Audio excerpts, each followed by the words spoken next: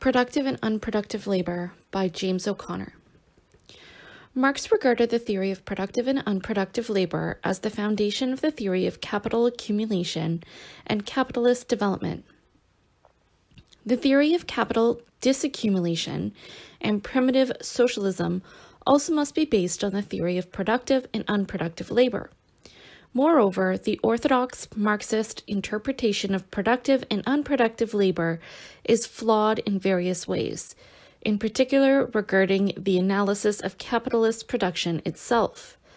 Our thesis is that production labor in capitalist society is simultaneously productive and unproductive, and the analysis of the contradictory and dialectical character of labor in production is essential to a scientific understanding of the decline of capitalism and rise of primitive socialism. 1. Modes of production and class struggle. Marx insisted that the specific meaning of production and unproductive or of productive and unproductive labor emerges from the particular mode of production under investigation. Productive labor in one mode of production is unproductive labor in another mode of production. This historical specificity of the two kinds of labor is so important that a few introductory remarks on the general meaning of mode of production are necessary. The most basic meaning of mode of production is way of life, or the more restricted way of working. In any society, people work with tools, means of production, on natural or made materials, object, objects of production, and create products, results of production. These tools, objects, and results of production are forces of production. Human capacities to use tools, design machines, fabricate products, etc., are also uh, forces of production. Since people work together in an organized way, Human capacities to produce depend on the particular way the producers organize their work or have their work organized for them. The organization of work or the particular relations which the producers have with one another in the production process is also a productive force. Two general ways of working or organizing work life are possible. One is the individual or collective self organization of producers who use their own means and objects of production and distribute their own products. The second is class society, in which one class owns or controls the means and objects of production and organizes the labor of the producing class with the purposes of producing and appropriating a surplus product which becomes the material basis of life for the owning class. In a society in which production is self organized, the only relations of production are those social relationships which the producers have established themselves. Although Marx rightly states that the forces and relations of production are two different sides of the development of the social individual, self organized production means that the relations of production are merely one constituent part of the productive forces. No contradiction between productive forces and production relations exists because there is only one class, the producing class. In class society, where production is organized by the owning class with the purpose of exploiting the producing class, there arises a structural tension in the relationships which the producers have with the owning class and with one another. But another way, or put another way, the general meaning of class struggle is that social classes are defined in terms of the antagonistic relationship they have with one another. In class society, where one class organizes the labor of another class, there always exists class struggle in one form or another, and with one end or another. The problem is not to prove that classes exist or stand in a certain antagonistic relationship, but rather to identify the actions, reactions, reconstructions, and reconstitutions, i.e., the concrete element in everyday life, which occur at the individual or small group level, but which in effect are universal. If two people who are in the same objective position in relation to the means of production and the owning class and its authority apparatus develop the capacity to respond routinely or creatively to the same objective alienation, exploitation, and oppression, they act as members of their class, whether or not they communicate their acts to each other directly or beforehand. If in a slave society an individual slave runs away, the reason is that he or she is a slave. The fact that it is an individual act does not mean that it is not an element of class struggle. Quite the contrary, the social meaning of individual acts can only be understood in class terms. It may be that precisely because the individual who runs away is a slave, the only response possible is an individual response. This does not mean that at the level of individual understanding and action, people in rebellion or passive resistance understand themselves as members of a class. But when an individual feels oppressed or is hungry or in pain and sees a chance to strike back or escape or struggle for freedom, a definite class psychology is involved. Although this class psychology is rooted in the objective class situation, seen as a historical process, it expresses itself in different ways in different people in accordance with all the social um, pro- all the social process which intersect in a person's life. The fact that a house slave deals with the master in one way and that a field hand deals with the master in another and quite different way does not mean that they are not both slaves. Nor is it true that because they both deal with their slavery in some way that they have a class consciousness of themselves as slaves. The basic fact is that they are both slaves independent of their specific situation, and hence are compelled to deal with those who own them and organize their labor. Their individual struggles are thus slave struggles, as well as individual struggles of people in a more or less individual situation. If mode of production consists of both the productive forces and production relations, then mode of production means way of life. This means that the way of life in class societies is antagonistic or based on force and counterforce. This becomes clear when the means of production in the hands of the owning class are understood to be so many means of discipline and control of the producing class.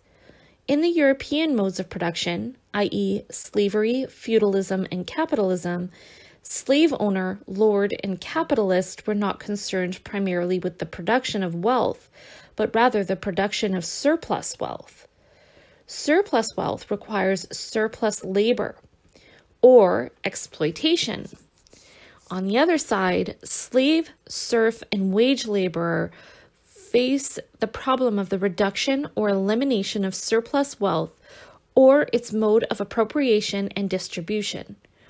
Freedom for the owning class is the freedom to exploit the labor of the producing class. Freedom for the producers is the freedom from surplus labor, i.e., freedom from the owning class. More specifically,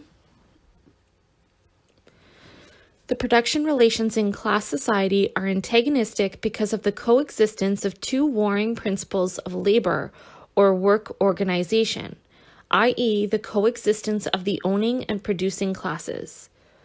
Further, we will argue that the struggle between the exploiting and producing classes over the organization of work, distribution of the product of work, conditions of work, object and results of work, etc., is the living contradiction between the productive forces and production relations. Finally, we must ask what does this structural tension between the exploiting and exploited classes signify for social theory? Briefly, we think that if the way of life in class society is antagonistic, then the theory of class society also must be antagonistic. If there is a theory of the origins and development of a particular class society, there must also be a theory of the decay and demise of that society. If there is room in the theory for the labor of the producing class, then there must be, or fuck, If there is room in the theory for the conditions under which the ruling class is able to alienate and exploit the labor of the producing class, then there must be room for the conditions under which the ruling class is unable to alienate and exploit labor. If the theory includes the conditions and kind of labor discipline and control, it must also include the conditions and kind of labor labor indiscipline and absence of control. If it contains an explanation of how the owning class restrains the producing class, it must also show how the producing class restrains the ruling class. If it is in an economic theory which emphasizes the process by which wealth in a particular form is produced, it must give equal emphasis to the process by which wealth in the same form is destroyed. In general terms, if the theory is an explanation of why society works when it does work, it must be a theory of why society doesn't work when it doesn't, in the literal as well as figurative sense.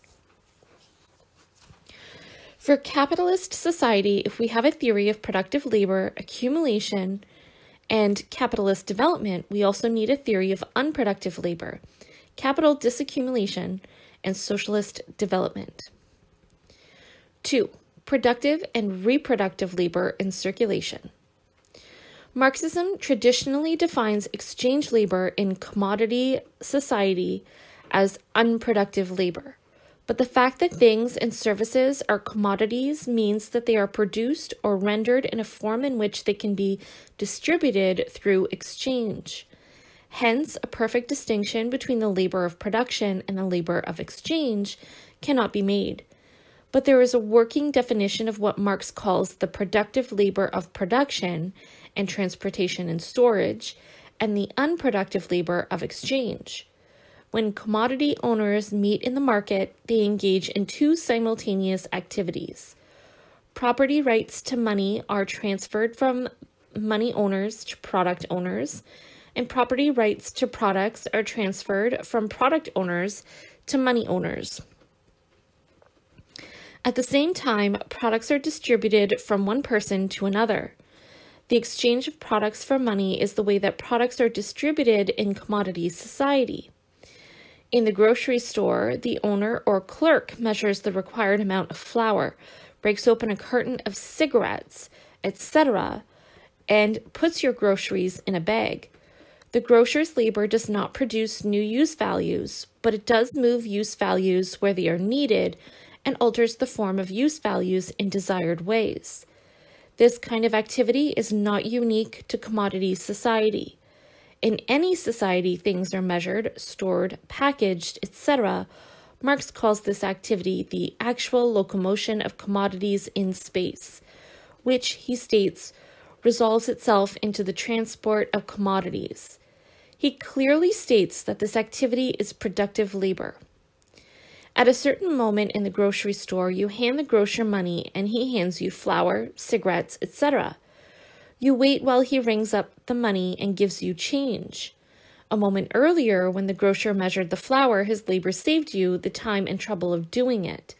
But when you hand him your money and wait for the change it costs you, it costs you time and trouble, as well as the grocer although in the absence of exchange and exchange labor, planning and planning labor are required. This activity of transferring property rights is called by Marx pure circulation and is unproductive in the strict sense that no use values are produced nor useful services rendered.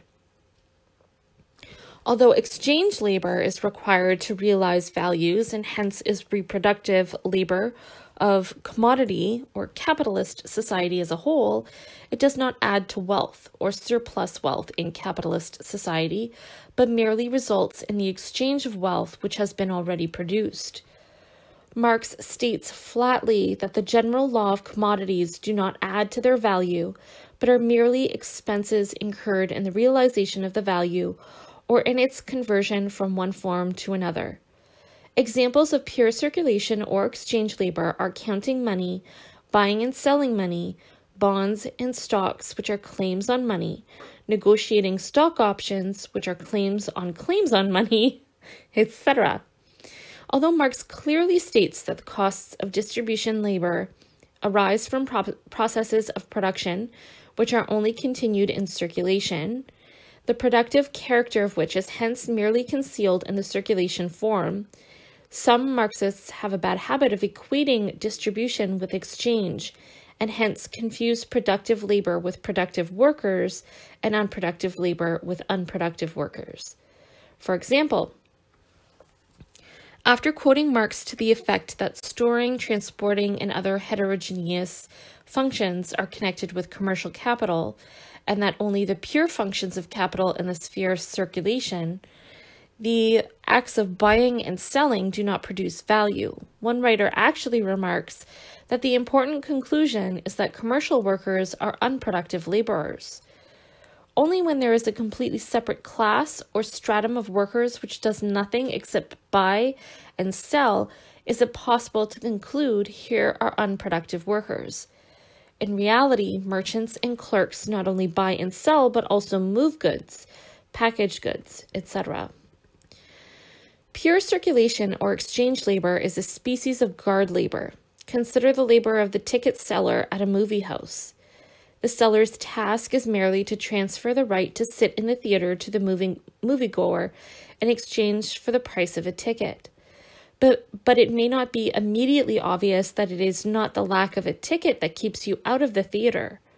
If Woodstock proved nothing else, it proved this. The ticket is actually torn up and discarded by a husky young man who stands between the box office and the seat that you want.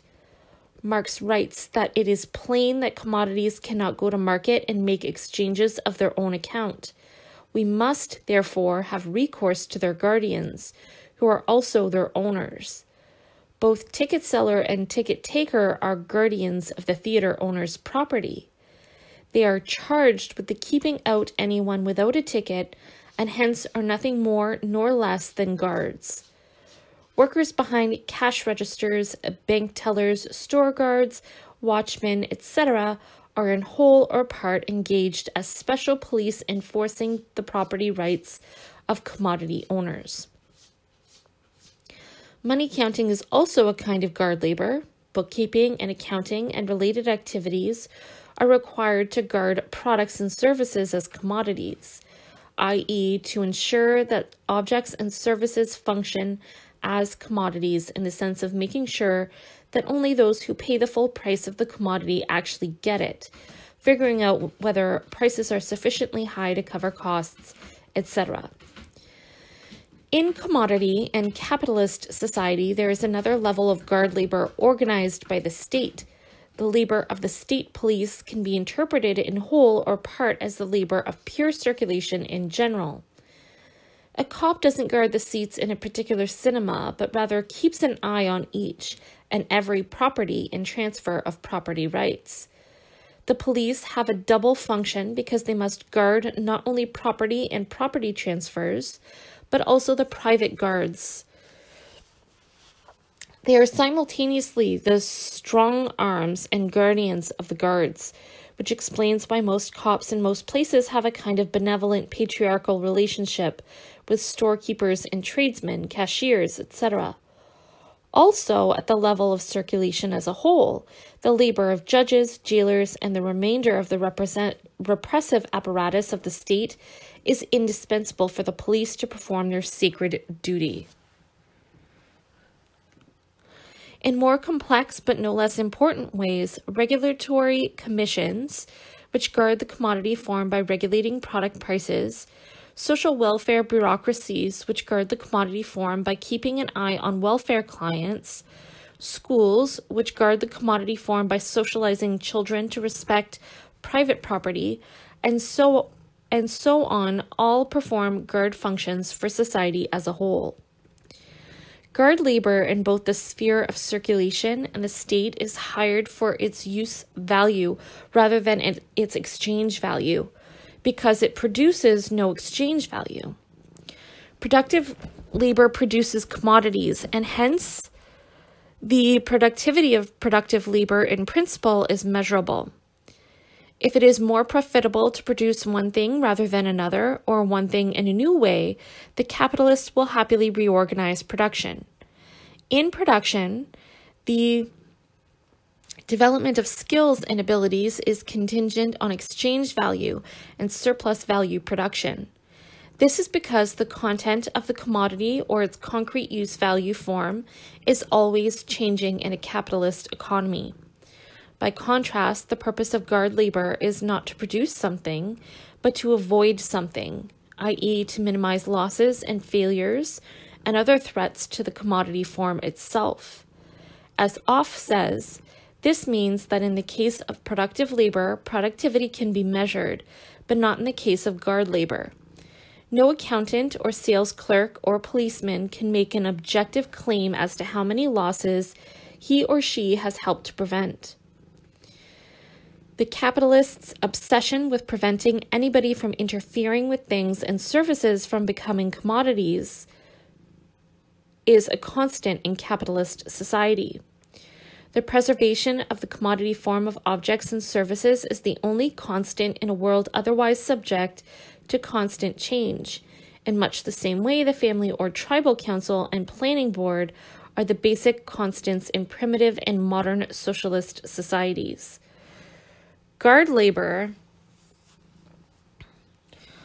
reproduces the formal structures of capitalism and maintains and reproduces capitalist production relations.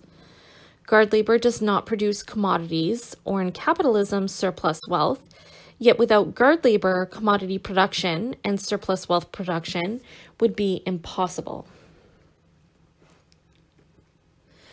The same conclusions may be drawn about the other important kinds of circulation labor, which we can call realization labor. This is the activity of advertising, publicizing, marketing, etc., which is required for the reproduction of the system as a whole, but which is not productive of values. The function of realization labor is not to guard property, count money, etc., but to communicate symbols about the commodity to make it appear that it is a definite use value. Since needs in commodity society are not decided upon prior to the production of commodities, the idea that a product is needed must be conveyed and accepted before that product can become a commodity. Realization labor thus results in someone wanting something or some service or believing he or she needs it. This labor is necessary because the capitalist must organize not only the production of a thing or service, but also the production of an idea about the thing or service. E.g., if you want status or to feel good, use our product. Like other specific forms of circulation labor, realization labor is employed within the aim of minimizing unproductive labor in exchange. Thus, as Offe remarks, advertising labor attempts to minimize the number of people for whom the commodity is produced who do not buy it. Yet we must emphasize that in capitalism, realization labor power, like all unproductive exchange labor power, is paid its own costs of reproduction, and its employer makes a profit like any other employer. Thus, although this kind of labor does not produce value or surplus value, it is exploited in the limited sense that it does not share in society's total surplus value, i.e., it is surplus labor, although it does not produce surplus value. Three,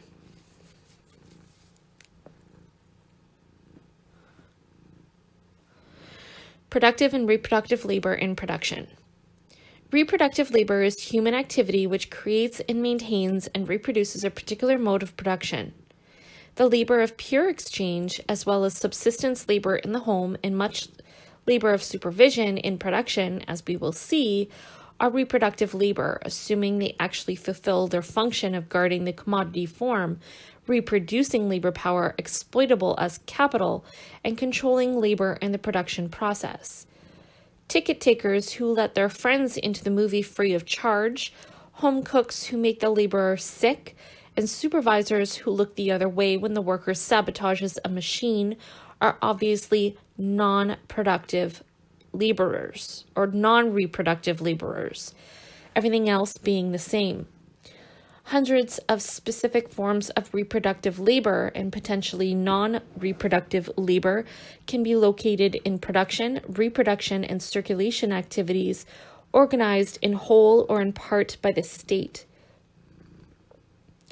Systematic examination of these kinds of reproductive labor would take us well beyond the scope of this study and would require detailed examination of the labor process organized in circulation and reproduction by the family and state, including division of labor, specialization of function, systems of hierarchical control, role of sexism within the family, etc.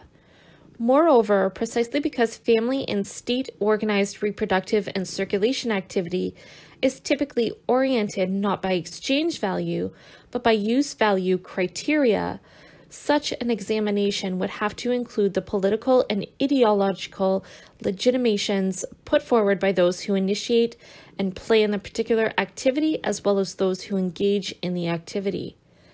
Since the study of the labor process in reproduction is in its infancy, particularly insofar as the state organizes the reproduction of labor power, and since there are, to our knowledge, no thorough and systematic empirical studies of the relationship between the labor process as material activity and the ideological process of its rationalization within the state, we can do no more, no more than mention these fundamentally important problems and pass on to the theory of productive and unproductive labor in capitalist production proper.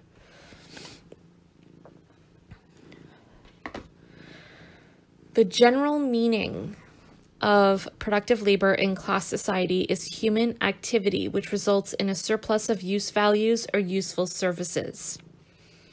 Defined this way, productive labor is the basic form of reproductive labor. Surplus means goods and services created by the producing class and appropriated by the owning class, i.e., goods and services over and above those needed for the reproduction of the labor power of the producing class. As important as the surplus itself is the manner in which it is produced. Because productive labor in class society is surplus labor, it is always organized by someone other than the producers themselves. And it is always organized in a particular way that must be congruent with the general character of the class relations in the society. In the slave mode of production of ancient Greece, the ruling class looked down upon manual work and Aristotle actually wrote that the worst kind of constitution put political power in the hands of the producing class. Slavery was thus legitimated by the argument that what the slaves did did was beneath was beneath contempt and that the only good life was the life of contemplation or at worst the life of organizing the labor of others the ruling class of the tribe of Israel was a priest class which believed that work was a penalty for sin, and although it was considered to be odious, it was also seen as necessary with a certain worth and meaning. Yet, it was written that the labor of man does not satisfy the soul, which is not a bad ideology for a ruling class priest. As Steve Hymer tells us, that personification of English imperialism and colonialism, Robinson Crusoe taught Friday how to produce more surplus wealth, not only more wealth. Robinson wanted Friday to learn to produce for Robinson, not merely to produce. Friday thus learned to bow and scrape as well as to build and cultivate, and the former as much as the latter were reproductive activities, and the two man subsistence economy of Defoe's imagination. In feudal society, the ruling class appropriated surplus labor in the form of labor dues and surplus crops. But surplus labor not only took certain forms, but also was exercised in a certain way, i.e., in deference to lord and church. St. Augustine actually said he believed that it was better to give up land and labor and live in a monastery than to till the soil or manufacture handicrafts. The formation of ideology and consciousness are thus crucial elements in the formation of productive labor and surplus and are absolutely indispensable to the total societal reproductive process.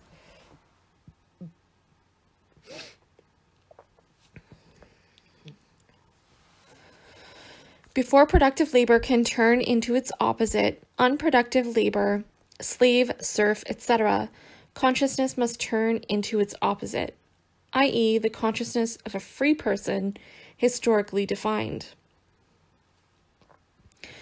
Productive labor creates not only surplus wealth, which reproduces particular social relationships of dominance and dependence in a material sense, but also these very same social relationships in a social and ideological sense. A bonded serf who throws sur- surplus grain in the face of the lord of the manor at that moment ceases to be a serf. Workers in the modern period who insist on selling their labor power and refuse to leave the factory when the boss wants to close it because it is unprofitable at that moment are no longer wage workers. Productive labor thus has a double meaning because it results in a particular kind of exploita- exploitative social relationship as well as producing the material basis for the existence and expansion of the exploiting class. If we abstract wage labor from the particular stage of capitalist development and decline, we can see that it also results in its own ideological preconditions, i.e., its own reproductive or reproduction conditions. In fact, the possibility arises that the worker not only produces value and surplus value, but also voluntarily and eagerly initiates the expanded production of value. Such is the nature of capitalist production. As Marx took so much pain to show, the fact that surplus values in capitalism are produced in the wage labor relationship and realized in the market explains why it appears that no surplus values are produced at all. Beyond the despotism of the factory itself, no overt and visible coercion is necessary for the production and appropriation of surplus value in a functioning capitalist economy it appears that no surplus is produced because workers exchange labor power at its value and buy products at their value. Nevertheless, productive labor creates value over and above the exchange value of the labor power of the workers employed. Surplus value is the difference between the exchange value of labor power and the exchange value of the product of labor. The wage labor relationship results in additional ideological preconditions for its own existence and reproduction. The fact that the wage itself is the price of labor power means that the wage never rises high enough in relation to the cost of reproduction of labor power to permit the worker to escape the necessity of wage labor. Moreover, because wage labor is organized by the boss within the factory or office as a kind of forced collectivization, workers do not desire to make their own products because they do not decide the conditions and purpose of labor. The experience of wage labor thus teaches workers to buy values in the market rather than produce values themselves for their own need. This establishes a psychological as well as material basis for the expansion of consumption or the growth of value realization. The experience of wage labor also teaches workers that work itself is an activity which they do not want to need and hence an activity which they do not seek to manage on the contrary, one which they seek to escape. This reinforces the domination of the boss in the workplace and establishes a psychological basis for the expansion of surplus value. In sum, wage labor takes away the worker's capacity to provide their own needs and replace this capacity with the surrogate money. In a capitalist economy, precisely because it is a class society, Marx explodes the concept of value into two parts the part that workers get, variable capital or socially necessary labor, and the part that capitalists get, surplus value or surplus labor. This theoretical explosion of value is required because of the explosion of petty commodity production, self earned property, into capitalism, where labor power is the property of one class and means of production are the property of another class. Now it is necessary to consider why outlays on wages are called variable capital, with the aim of clarifying why wage labor must produce surplus value. Labor power in capitalist economy is a commodity which is sold to the boss at more or less its value, to be used up or consumed by him. But this transaction between boss and worker is highly ambiguous. Exactly what is bought and sold. When an individual buys an orange, he or she normally knows what is being purchased. When a homeowner buys the services of a house painter, he or she is buying a painted house, i.e., a use value, and does not expect the painter to fix the plumbing nor even to inform the homeowner how the house will be painted. But when the capitalist buys labor power, he doesn't know what capacities of the worker he is going to use up, nor how much he will use of any particular capacity. More, the boss may not even know what he wants to use, nor how, how fast he wants to use it up.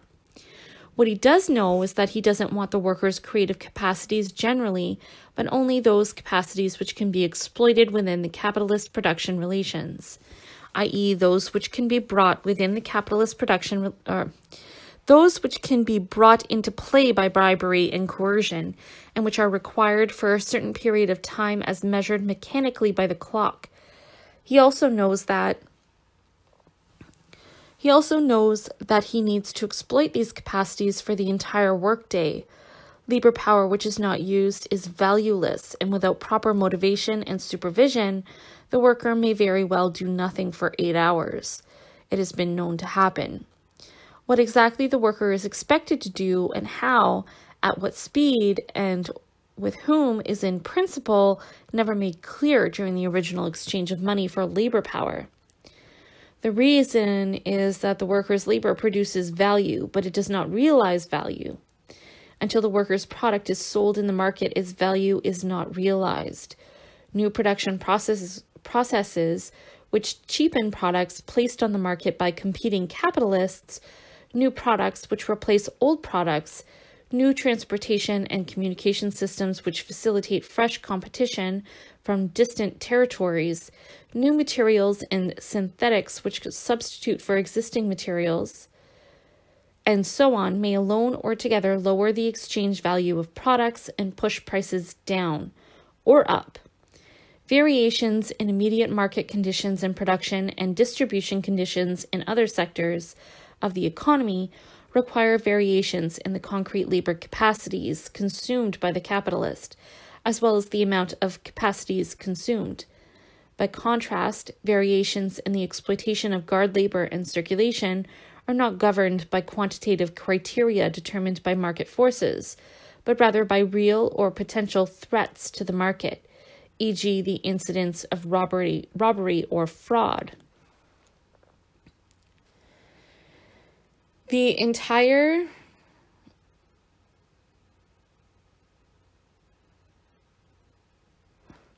The entire capitalist economic system is a fluid structure of real and potential concrete labor tasks that the worker is forced into and out of depending on underlying and immediate market conditions.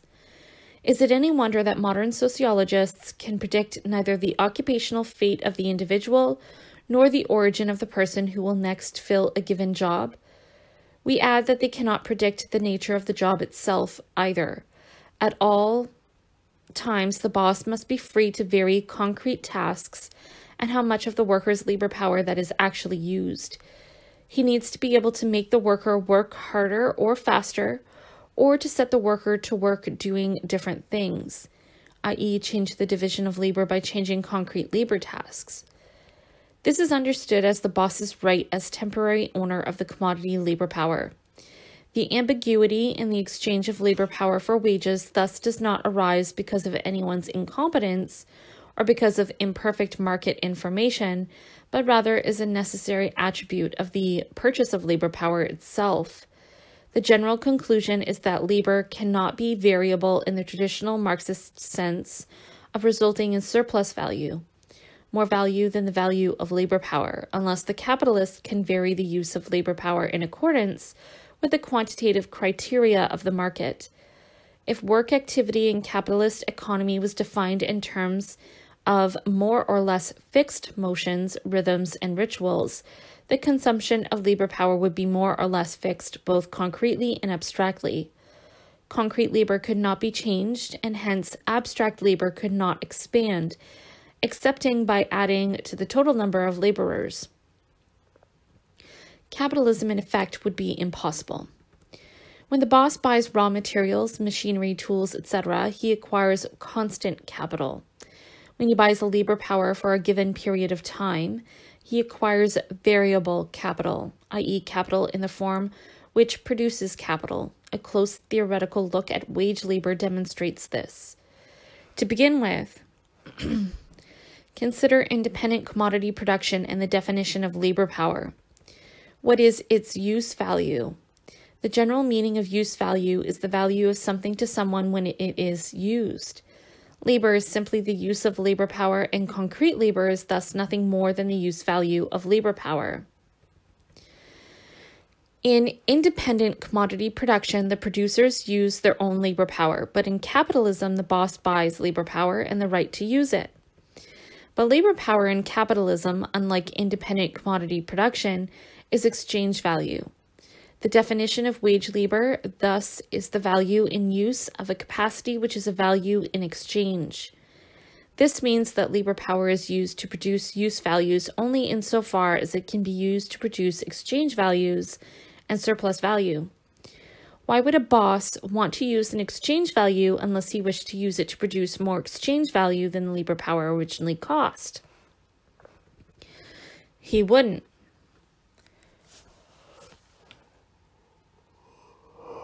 a no use value or exchange value will be produced unless the exchange value of labor power is less than the exchange value of the product created. This is the basic principle underlying the boss's decision to buy labor power in particular quantities and to consume labor power in particular ways. For this reason, Marx says that capitalist production can be described either as commodity production or as surplus value production. They mean the same thing as commodities are not produced unless surplus value is produced. Now we can grasp the formal meaning of productive labor. It is labor that produces capital, i.e., a social relationship of production within which working activity is organized. It is the basic form of labor required to reproduce the system as a whole. Productive labor must be sharply distinguished from the ideological concept of productivity employed by bourgeois economists. Productivity theoretically is a measure of output per worker hour, but output in reality depends not only on the stage of devel development of the productive forces, i.g., kinds of machinery, etc., but also on the production relations. Productivity in part measures the boss's ability to exploit labor efficiently and hence is an indication of the production relations, as well as the productive forces. Bourgeois economists deny that capitalists exploit workers, i.e., that the production relations of capitalism are any different from those characterizing petty commodity production. Hence, for them, productivity measures the development of the productive forces alone. They are thus unable to understand that it is precisely within the capitalist social relations of production that concrete and abstract labor are regulated. The, the level of employment and unemployment, the pace and hours of work, the division of labor within the capitalist enterprise, the degree of utilization of machinery, etc., are all governed by quantitative criteria in the absence of any challenge on the part of workers to the capitalist domination of production capitalist production relations, strictly speaking, are not even possible unless the boss can evaluate the worker's labor in terms of exchange value criteria. Capital is also a social relationship in the sense that productive labor produces the capitalist or results in the reproduction of the capitalist class structure. Capitalist production, Marx writes, reproduces the separation between labor power and means of labor, it thereby reproduces and perpetuates the condition for exploiting the laborer. At this level of analysis, productive labor has to do with material things only secondarily and is primarily a sociological category. But a capitalist without means and objects of production is not a real capitalist, only an abstraction, and ownership of real means of production is the condition for exploiting labor. Although capital is not merely a thing, a monopoly of ownership of things confers social power because it permits the capitalist to organize society's labor. Means of production are the means whereby owners exploit the labor of non owners. Universalizing capital as a social relation requires the conversion of surplus value into more means of production, economic wealth of the capitalist class, and labor power, social power of the capitalist class. The expansion of the means of production and the growth of capitalist production relations are thus merely two sides of the same historical process. Turned around, the, contra- the contraction of the means of production as means of surplus production and the decline of capitalist relations of production are the two sides of the historical process of capitalist decay. To conclude, productive labor reproduces and expands the means of production and also the control of the boss over the labor process and the workers who engage in this process. These means of production are not only instruments required to produce things, but also things that are required to use workers as instruments. This formulation raises a problem when we consider service labor, i.e., working activity in which instruments of production play a minor role. In what sense can service labor be considered to be productive labor in capitalism? Marx states that any labor that produces capital is productive labor. The opera singer employed by a capitalist to sing in public for the capitalist's profit labors productively. Although Marx does not tell us the exact process whereby service labor becomes capital, we can grasp this process by using the same general method he uses in the discussion of capital or of labor, which produces material objects. The means of production become capital, Marx writes, only insofar as they have become separated from the laborer and confront the laborer as an independent power. In material production, workers produce machinery which is appropriated by the capitalist and subsequently is used to exploit the workers who produce it and also those who use it. Material labor thus indirectly reproduces the production relations between workers and bosses. By contrast, service labor directly reproduces capitalist production relations. In the case of the opera singer, we exclude the opera house itself, which is a means of production like any other and poses no special difficulty. In service labor, there are no objects which mediate between workers and capitalists, hence the need for a substitute. This substitute is the role in which the service worker labors. For example, the social worker's capacity to convince the welfare client that the system is fair or legitimate depends not only on the social worker's capacity for deception and self deception, but also and mainly on the relationship established between worker and client, i.e., the fact that in this case the first is an employee of the state and the second is a client of the state. Neither person can exist independently of the social relationship which they directly enter into. Put another way, if service labor is objectified in the form of another person's subjective life, i.e., if what is produced is precisely a particular social relationship, it becomes impossible to separate the objective and subjective sides of the labor process. A car worker may retire or emigrate without affecting the existence of the car, or the car may be junked without changing the life of the car worker. But once two individuals lock themselves into well defined roles, e.g., doctor patient, doctor nurse, airline stewardess passenger, social worker client, or for that matter, manic depressive, husband wife, etc. Then there's no escape for one without a basic change in the life and labor of the other.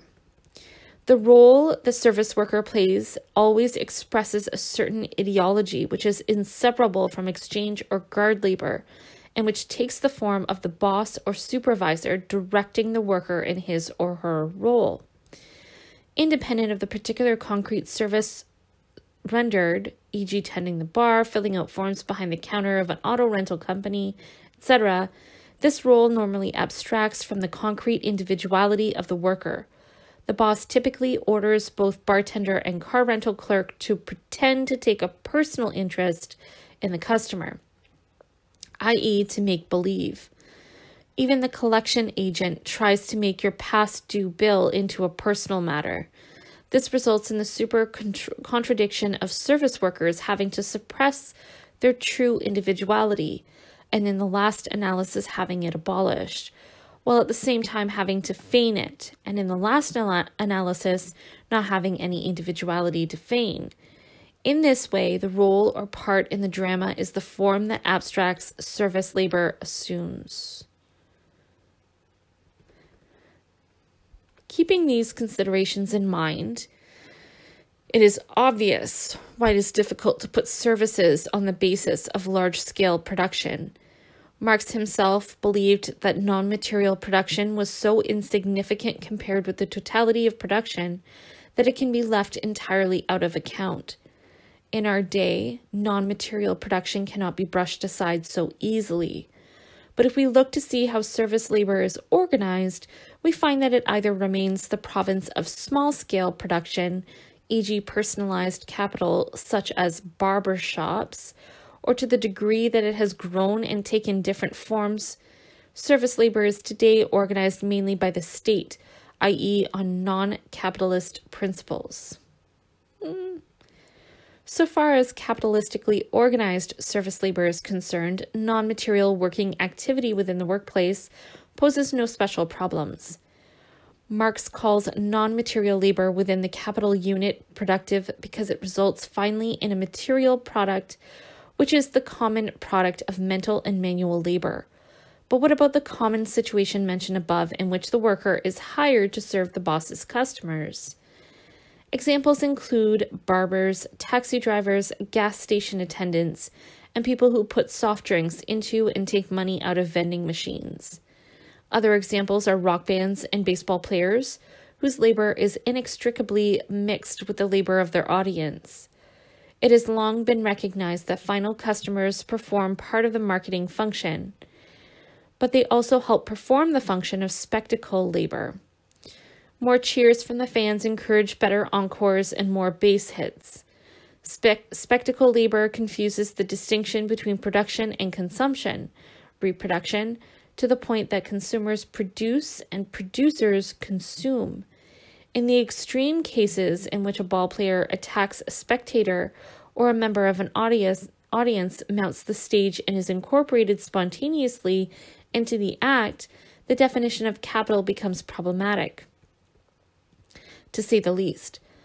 Customer services in distribution and exchange have a similar character. Vending machines place the burden of work on the consumer, as do shopping centers and self service supermarkets. In comparison with the days when tradespeople came to your neighborhood or door, Sometimes salaried doctors do the same thing when they economize their hired nurses' time by having their patients take their own temperatures.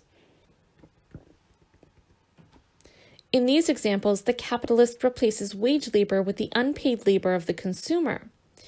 To a greater or smaller degree, workers produce surplus value for the capitalist, but the workers are their own means of production the labor of producing commodities becomes inextricably mixed with the subsistence labor of reproducing labor power, not to speak of the labor of exchange.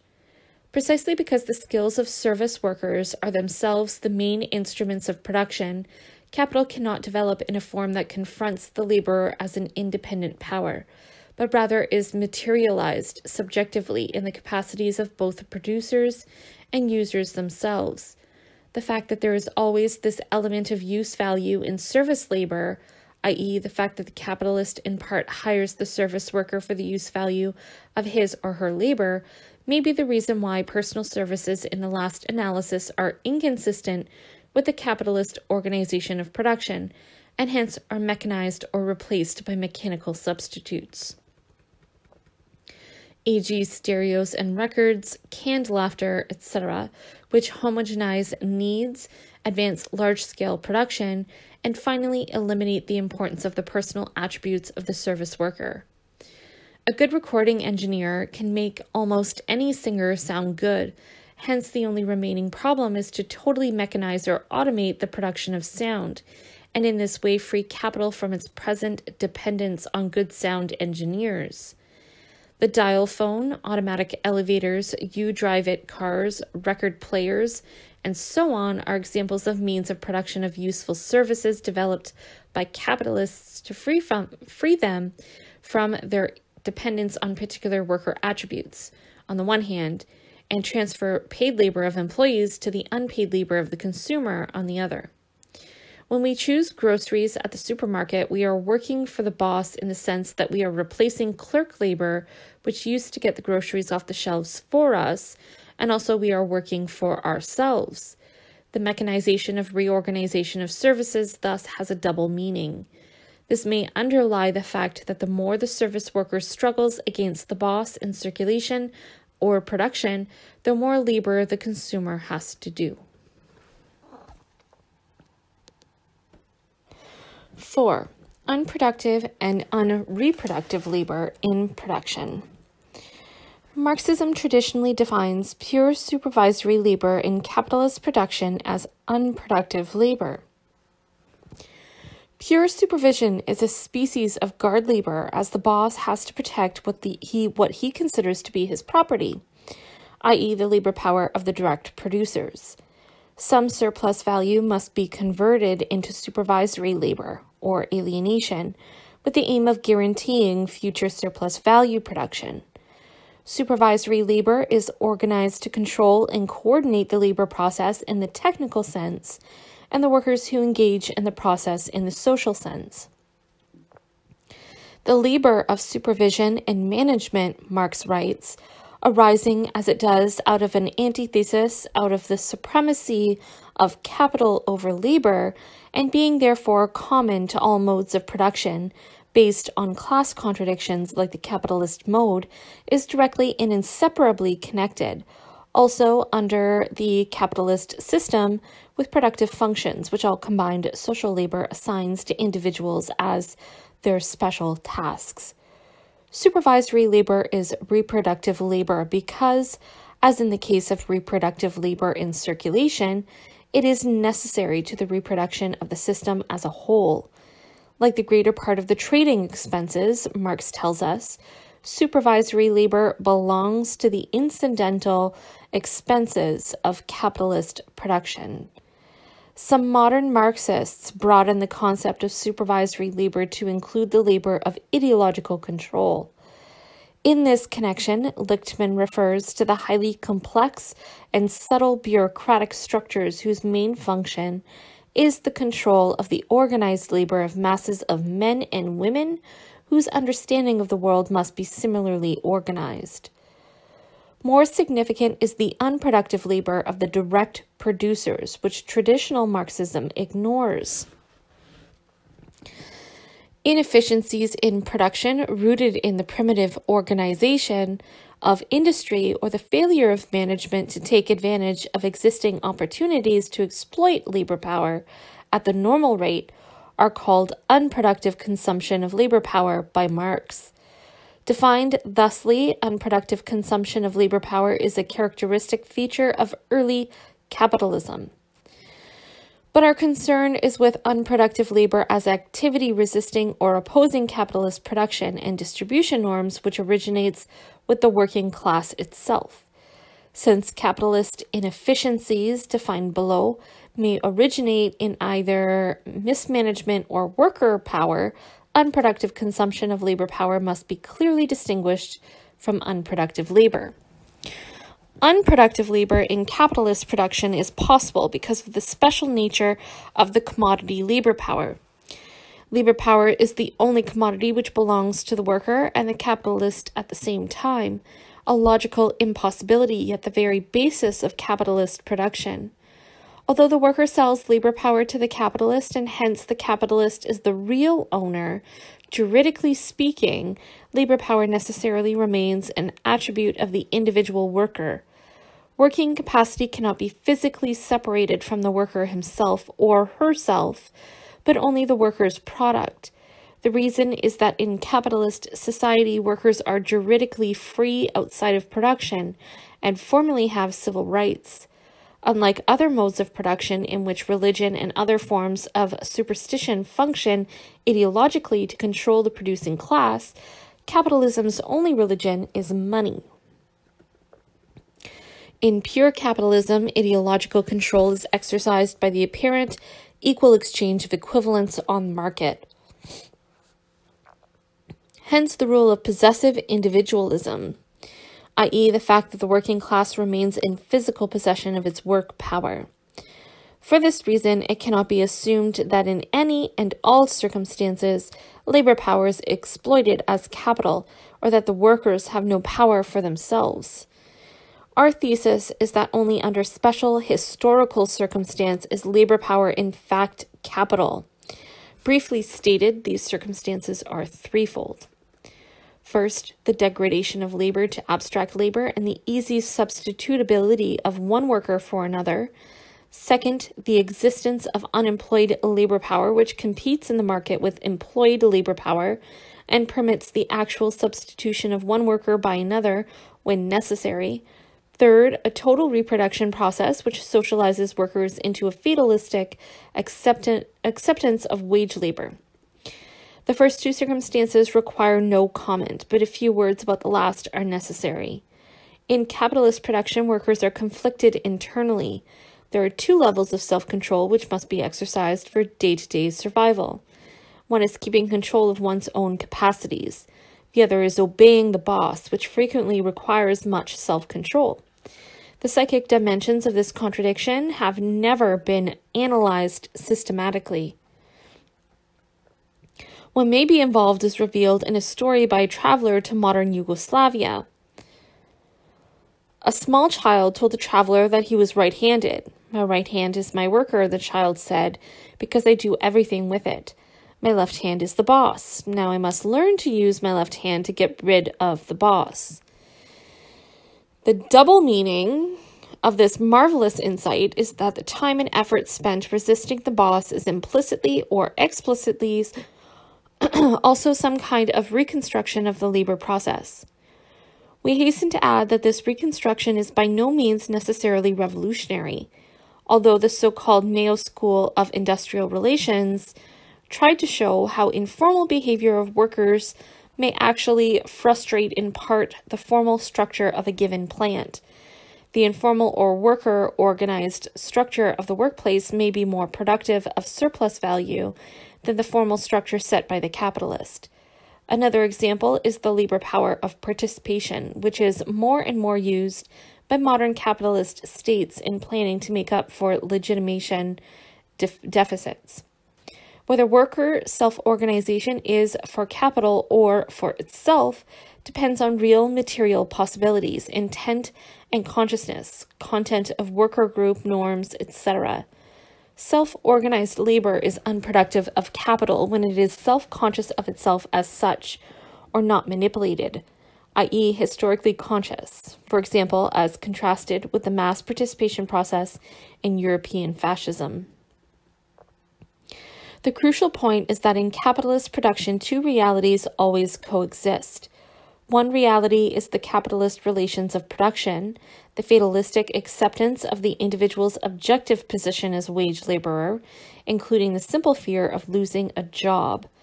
The other reality is the struggle against the simple fear of, or the other reality is the struggle against both the boss and the repressive mechanism of self control class society develops with the aim of exacting obedience. This activity is unproductive, whether it is organized by one person against the passive part of himself or herself, or by a whole group of workers or the working class as a whole in the political sphere. It is unproductive activity, even though it is expended within the capitalist enterprise itself. Although historically, Marxists have been more reluctant to deal with this fact than anarchists, all labor within the production unit is simultaneously productive and unproductive. Modern sociology confirms that empirically with its findings of latent classes, class consciousness. Mann states that from surveys we can easily perceive latent consciousness of class, which in certain situations can explode. Hence, it is not difficult to, de to develop a theory of dual consciousness. Whatever the particular balance between productive and unproductive labor, a central problem for the analysis of capitalist economy is the determination of the conditions which create and are created by an antagonism between these two activities. An antagonism which is simply a form of the contradiction between the production relations and productive forces, and which historically does not come to the fore until capitalist production relations in general weaken and decay. The coexistence of productive and unproductive labor means that capital disaccumulation tendencies coexist with capital accumulation tendencies. Let us consider one dimension of the contradictory accumulation disaccumulation tendencies, again abstracting from the particular stage of capitalist development and decline. We know that productive labor creates surplus value, and an increase in productive labor increases surplus value. We also know that productive labor has an ideological dimension, which we can sum up as the fatalist acceptance of wage labor by the worker. Hence, an increase in productive labor means an increase in the fatalistic acceptance of wage labor. If the increment to surplus value is converted into more means of production and labor power, more constant and variable capital, the wage labor capital relationship expands and capital accumulates in the objective sense of more means of production and more wage laborers, and in the subjective sense of more fatalism on the part of workers. Unproductive labor lessens surplus value, and a relative increase in unproductive labor further reduces surplus value. An increase in unproductive labor also means a decrease in the fatalistic acceptance of wage labor, or an increase in conservative or progressive forms of self organization. If the reduction in surplus value results in fewer new means of production and less additional labor power exploited by capital, and at the same time a qualitative or subjective change within the ranks of the employed workforce, the wage labor capital relationship contracts or weakens, and capital disaccumulates in this double sense. We stress that we call the activity of weakening capital unproductive labor rather than a decrease in productive labor, precisely because unproductive labor requires self organization, i.e., alters the subjective moment of labor and hence reproduces a way of life that is different from the capitalist way of life. Whether and under what conditions this way of life looks backward in history or forwards into the future depends on the stage of capitalist capitalist development and decline. For now, we only want to point out that self-conscious self-organization is a definite activity which deserves its own name. If unproductive labor is unproductive of capital in both the quantity, quantitative and qualitative senses, i.e., both objectively and subjectively, it is productive of one of two other social relationships or a combination thereof. These we call anarchist labor and socialist labor, which are predominantly backward looking and forward looking, respectively. Before we develop a formal schema of productive and unproductive labor and anarchist and socialist labor, we need to compare unproductive labor in production with unproductive labor in circulation.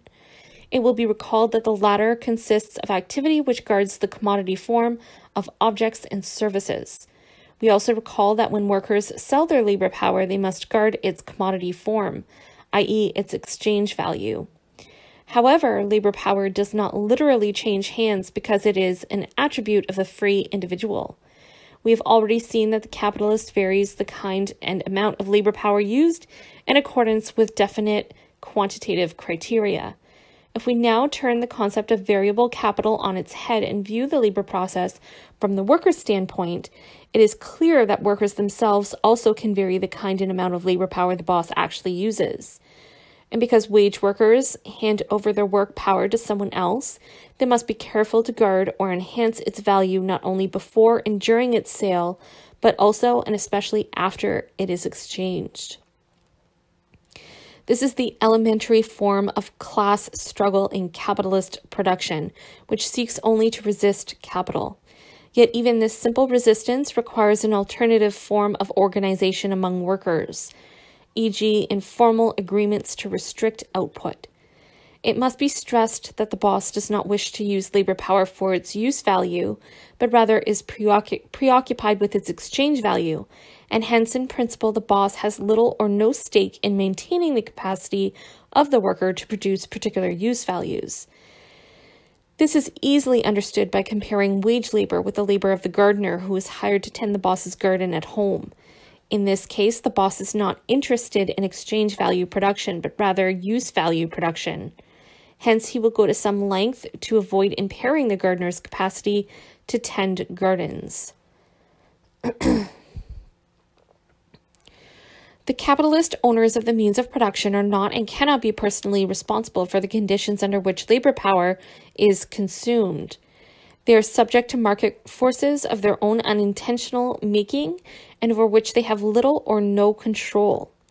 This is the basic reason why workers need to guard their labor power in production as well as in circulation. Whether market forces are strong or weak, whether capitalist state political or social norms are absent or present in capitalist enterprises, whether guard activity has a conservative or progressive form and meaning, whether guard activity does or does not, in the last analysis, reproduce capitalism as a whole, etc., depends on whether capitalism as a system is developing or declining. Whatever the case, the guard is essential to prevent any deterioration of the value of work capacity, the only property the worker has. I have learned through sad experience, a woman worker said, that the more your superiors find they can get out of you, the more they come to expect. The only way to protect yourself is never to work at anything like full capacity. I know that most restriction of output is due to the worker's desire to save and protect herself and not to any other motive. At the very minimum, this capacity saved is potentially revolutionary energy. 5. Productive and unproductive labor schema. All kinds of variations and combinations of productive and unproductive activity and production are possible, and the social and political meaning of both activities is by no means immediately obvious in all or even most cases. But we can pin down at this stage the exact meaning of the relationship between unproductive labor and exploitation and alienation. In capitalism, surplus value is realized and hence appropriated by the capitalist class in exchange. Put another way, the precondition for the appropriation of surplus value is the prior appropriation of the total product of the workers. Surplus value is shared out among the capitalists in accordance with the amount of capital invested by the workings of the market.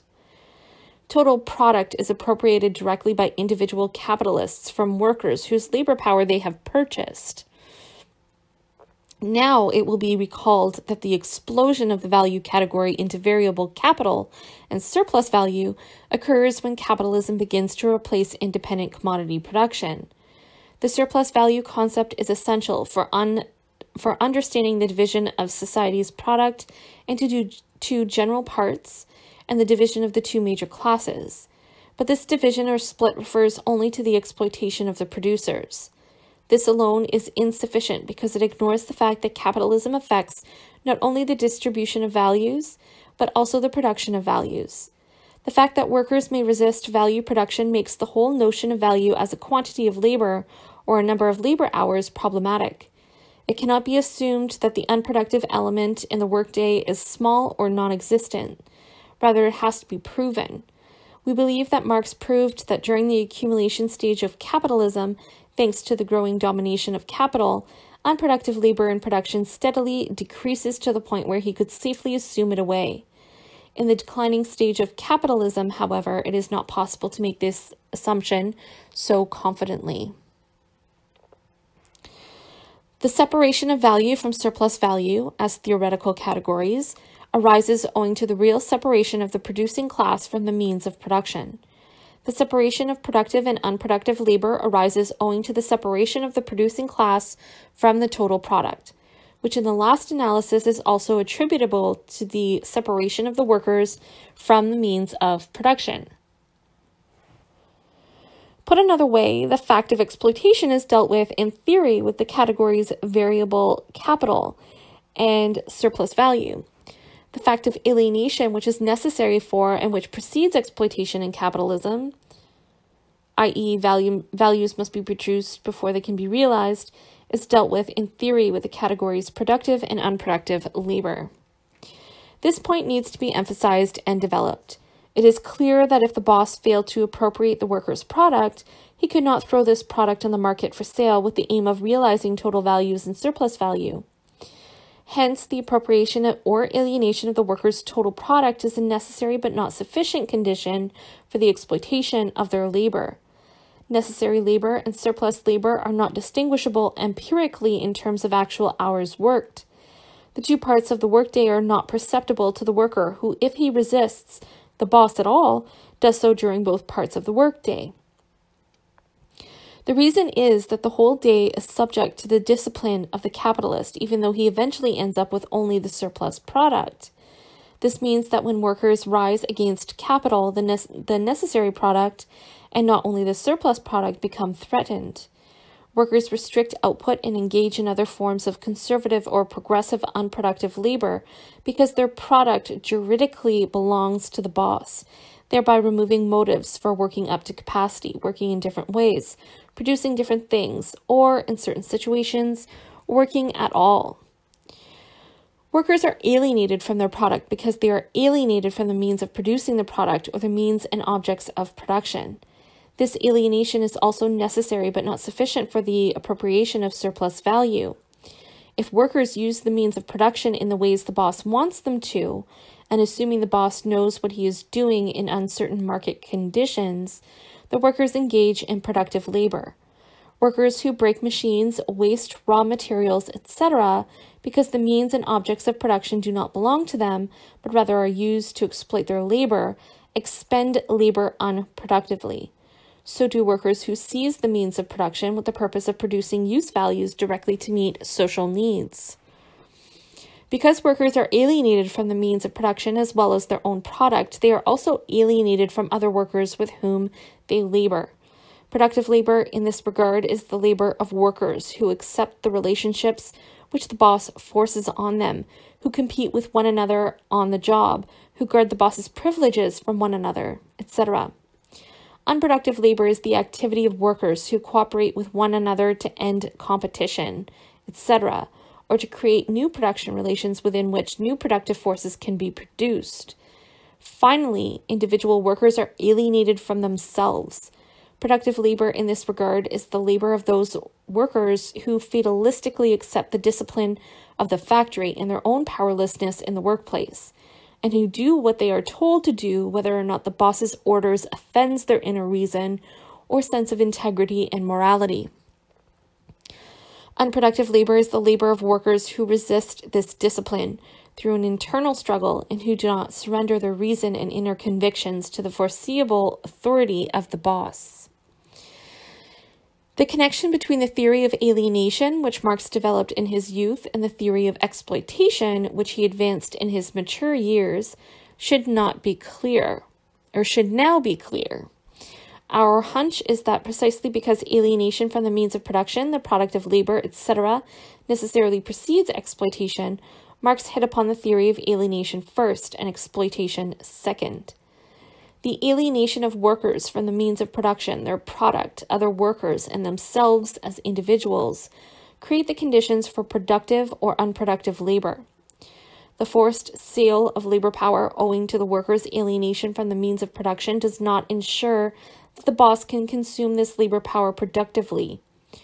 Nor does the fact that the labor power is an attribute of the worker and not a thing ensure that labor power will be consumed unproductively. Depending on the movement of concrete labor processes and abstract labor, historically seen, the worker's alienation may create a consciousness level of physical and intellectual development, etc., which permits surplus value production to be maximized.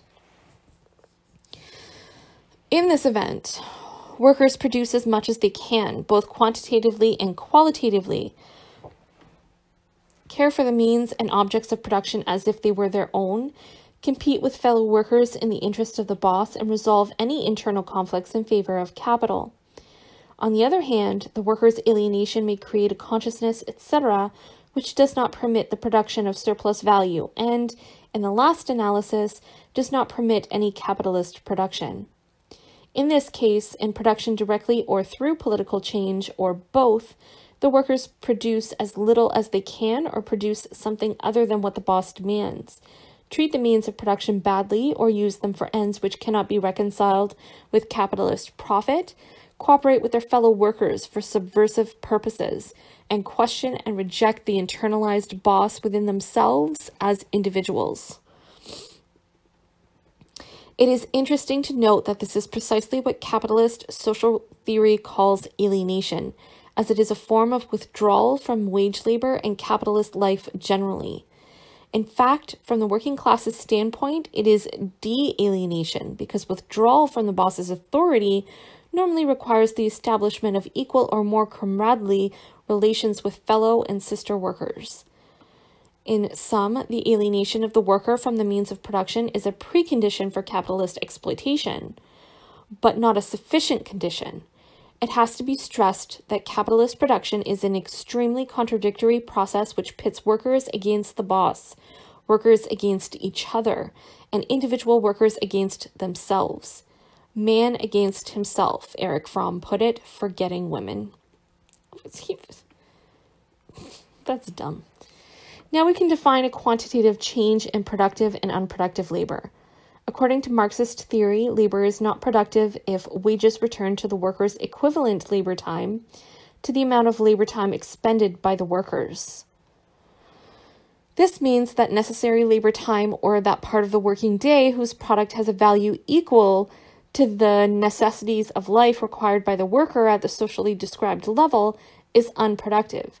The only productive part of the workday from the standpoint of labor which produces surplus is the surplus labor producing surplus value. If, for example, workers organize a reduction in output, everything else being the same, surplus labor fails from, say, four to three hours, or falls from, say, four to three hours. Labor is still productive, even though unproductive labor has increased. Bearing this in mind, let us see how productive labor can expand absolutely and relatively. Then we will see how unproductive labor can expand absolutely and relatively, bearing in mind that unproductive labor in either its anarchist or socialist form is productive of some other production relation or productive force.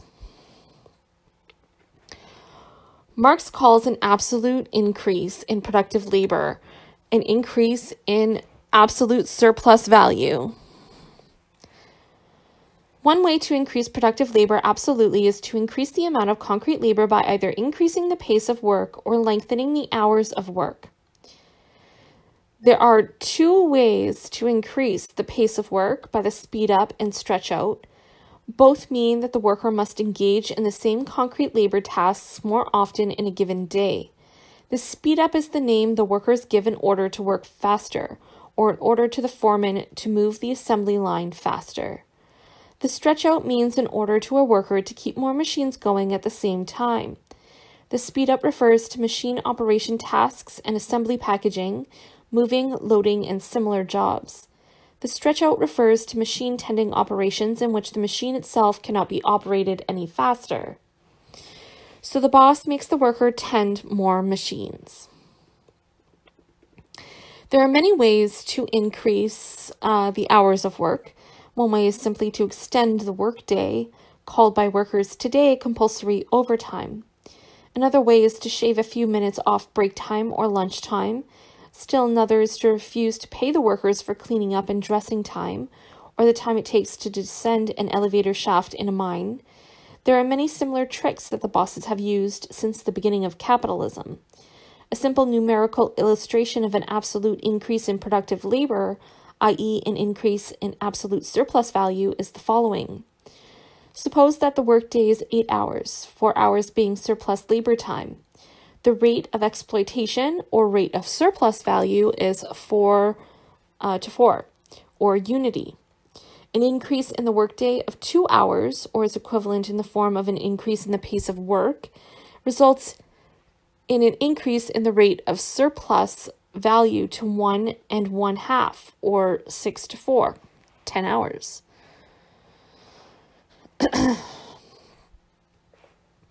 The workers historically have labeled an increase in absolute surplus value speed up, stretch out, etc. There are similar expressions in the language of every country in which capitalism has taken root, which is all of them. It is significant that these are workers' words, as they express the point of view of the worker when the boss attempts to increase exploitation, absolutely. Turning the analysis around, it is equally significant that the best known words used to describe an increase in unproductive labor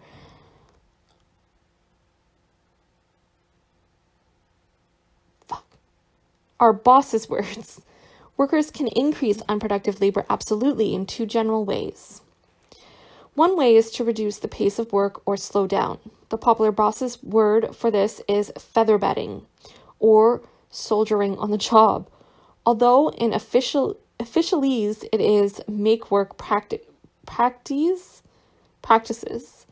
The workers themselves sometimes say go easy, but this is appropriate this is a private la language normally confined within the factory walls.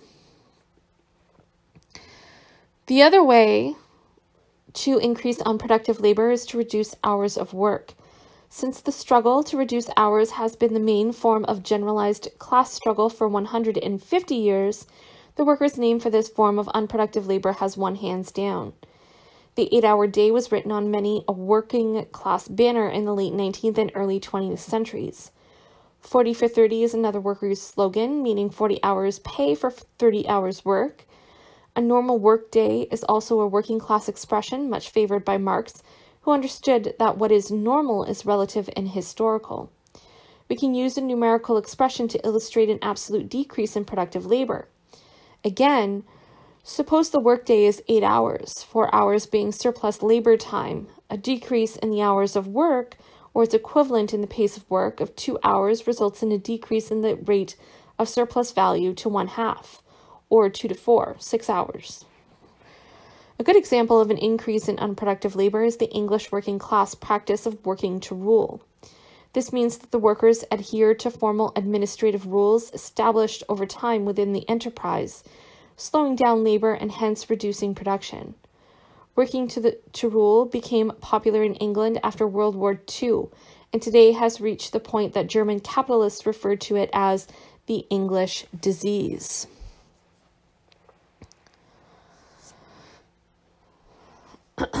There's a second and historically far more important way of expanding productive labor. Marx calls a relative increase in productive labor an increase in relative surplus value. Increases in absolute surplus value arise when workers are forced to work longer and harder at the same task. Relative surplus value increases when the worker is made to labor at different tasks with the aim of increasing the amount of production, without necessarily changing the pace and hours of work. Any change in the concrete labor process that reduces socially necessary labor, i.e., the amount of labor needed to reproduce the laborer or total variable capital outlays, expands surplus value. One way to increase productive labor relatively is to change or modify the division of labor within a capitalist enterprise with the result that more values and surplus values are produced. This normally takes the form of specializing work functions and dividing up the labor process with the aim of expanding values without any change in total labor time. Sometimes this is accomplished by reduction, reductions in work setup and shutdown time. Sometimes the aim is to eliminate other unproductive gaps or crevices in the worker's workday. Often the boss wants to get rid of concrete labor processes which require high paid skilled labor. Every boss wants the best man on a particular job and seeks to hire and promote workers on the basis of merit, loyalty, etc. Whatever the particular method or aim, the function of expanding value production through specialization and division of labor is the reduction of socially necessary labor time. To illustrate numerically, suppose that the workday is 8 hours, 4 hours being surplus labor time. A change in the division of labor which increases productivity and permits the workforce as a whole to maintain itself by only three hours of labor results in an increase in the rate of surplus value to one and two thirds, five to three, um, eight hours. Surplus value has increased relative, relatively because, by assumption, absolute labor time and pace remains the same. When capitalists reorganize the labor process and expand relative surplus value, there occurred two general effects on the workers. First, some workers whose labor is now redundant are laid off. In the event that total capital and the demand for labor power remain unchanged, workers who are laid off can no longer realize the value of their labor power. Historically, workers have resisted by working to rule, enforcing make work rules, and in other ways. More workers may increase unproductive labor relatively by demanding that work functions be enlarged or set up, time increased, or safe or needed products produced or other changes be made that replace exchange value criteria in production with criteria based on need and use value. Second, the reorganization of the labor of workers who keep their jobs typically makes some existing worker capacities and skills redundant. In the course of accumulation acquired in the course of accumulation, acquired skills are eliminated and concrete labor processes are simplified with the aim of reducing the skill labor element. In this and other ways, the effects of capitalist competition may be to cheapen the reproduction costs of labor power and hence drive down the average wage rate. On the other hand, capitalist competition may lead to increased skills and a higher reproduction cost of labor power. Lenin mentions this possibility and christens it the law of rising requirements. Today, there is the argument that automation requires greater skills and different skills of planning, coordination, control of production, etc. Worker resistance to capital's attack on traditional skills has taken the form of working to rule. Make work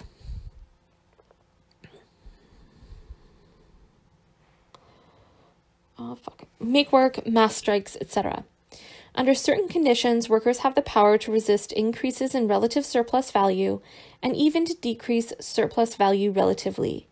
Workers may also resist merit hiring and promotions by demanding that the oldest worker or the individual with the longest employment record rather than the best man be put on a particular job.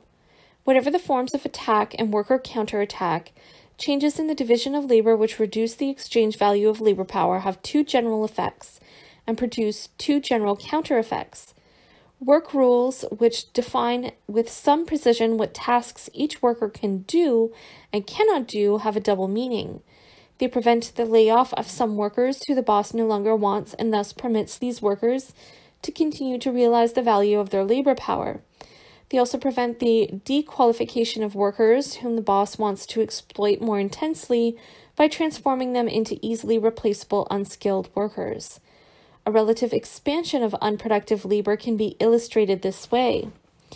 If the workday is eight hours and surplus labor time is four hours, struggles to expand work rules laid down by the workers themselves, etc., reduce relative surplus value to, say, three hours.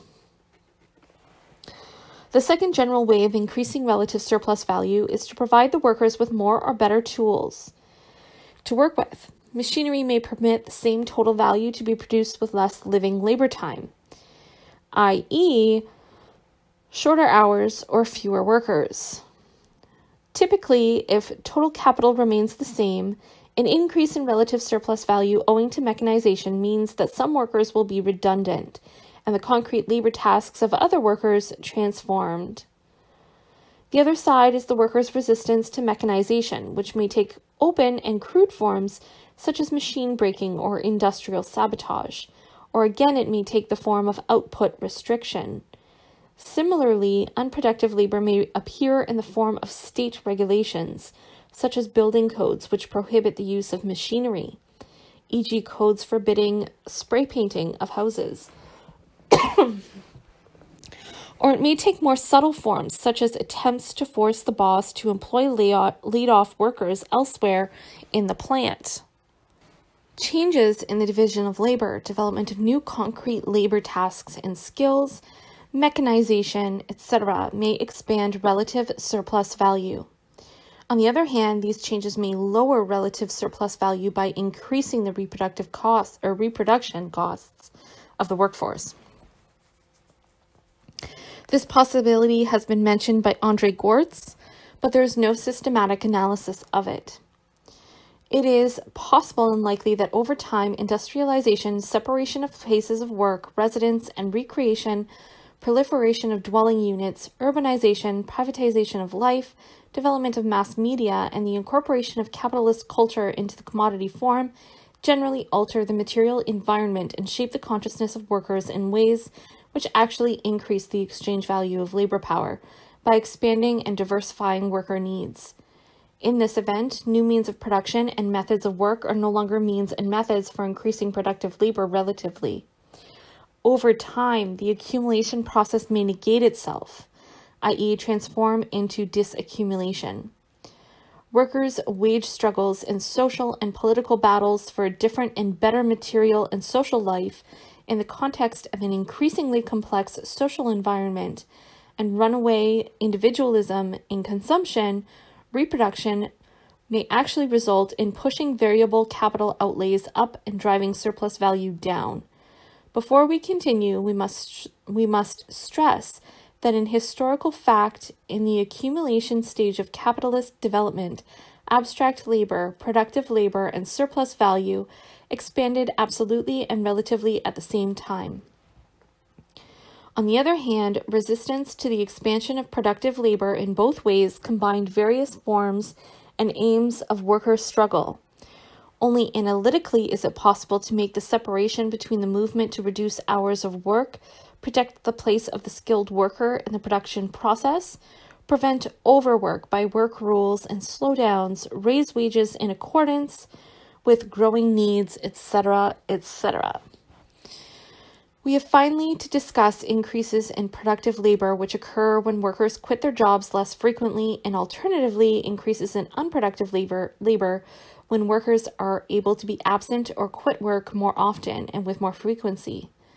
Absenteeism requires individualist self-organization in the form of breaking an implicit implicit um, fuck implicit agreement with the boss to remain on the job for a particular time and using labor power for something else, or resting it. Quitting also requires individual self organization because normally workers work less hard or well once they have decided to quit, their mind is on their new job.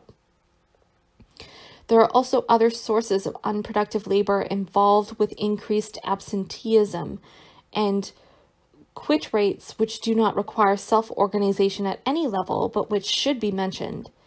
Changes in productive and unproductive labor typically occur in the short run over the course of the capitalist business cycle.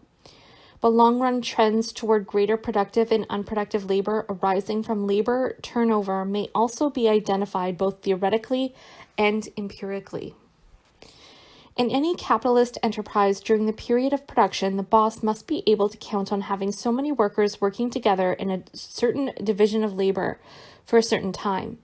In economic boom periods, the demand for labor power normally grows faster than the supply and job vacancies increase, faster than the number of workers seeking jobs.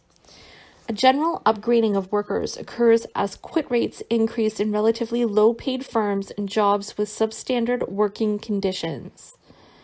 Absenteeism also increases. When workers quit or absent themselves from work during the production period, the normal result is a reduction in production and profits. Absenteeism warns the Manpower Administration of the U.S. Department of Labor is costly to employers in loss of production, forced substitution of untrained workers, increased insurance rates, replacement training of standby employees, and record keeping. Some employers, in estimating abs- absenteeism costs, equate every 1% of absenteeism to 1% of lost profits. No one knows more about the unproductive labor that results when workers refuse to come to their jobs and hence reduce production by impairing the division of labor within the enterprise than the state agency assigned to deal with the problem. A lengthy quotation will not be out of place. Casual and unsystematic handling of the problem has made ineffective many programs aimed toward reducing absenteeism. Personnel, ma- personnel managers may de emphasize labor wastage costs in their periodic reports to top management fearing that they may be held responsible if absenteeism is too high. Likewise, supervisory staff, foremen, and operational managers may be reluctant to report costs resulting from absenteeism because they might be held accountable for workers over whom management has given them little control. These hidden factors lead to pyramiding of costs to all departments concerned. The costs of absenteeism can be identified in overstaffing to off- offset absenteeism, lost production, fluctuating quality, idle machinery and unused investment, disrupted schedules, overtime, shifting of staff, material spoilage, higher inventory caused by delays in production and shipments, plus time spent by supervisors, foremen, and clerical staff to maintain records and deal with factors causing absenteeism and to provide solutions to the problem. Workers who quit their jobs with the aim of getting higher wages or better working conditions reduce the rate of exploitation in the economy as a whole. Like absenteeism, increased quit rates mean lost time, which reduces the boss's profits in a number of ways.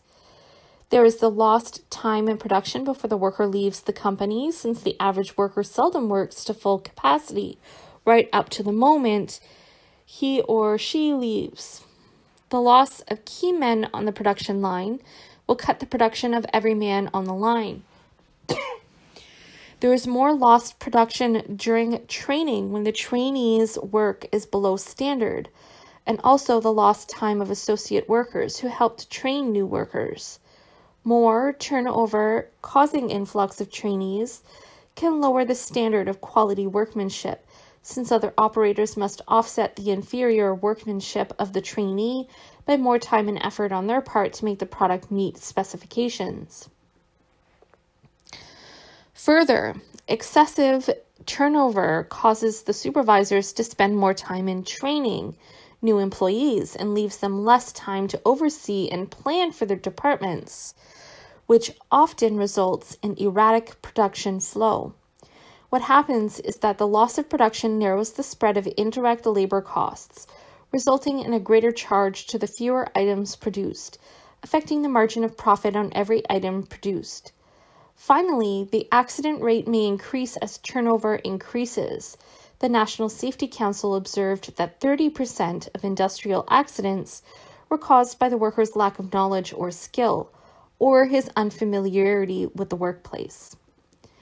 In conclusion, we stress that it is the social meaning of human activity within capitalist production which stamps labor productive or unproductive. Sit downs, wildcat strikes, and official strikes, which interrupt or destabilize the labor process, may increase unproductive labor. On the other hand, if the boss has excess supplies on hand and has prepared for the moment that the workers walk out, a strike may be nothing more than a capitalist lockout. Worker self organization is a necessary but not sufficient condition for unproductive labor. The sufficient condition is that the workers must organize themselves on the boss's time, with the effect of undermining the capitalist productive forces or production relations. The most general meaning of unproductive labor in production is that factories, offices, tools, etc., become less means of control of labor and laborers, and hence less means of surplus value production. but the capitalistic nature of the means of production and labor is undermined by socialist labor alone.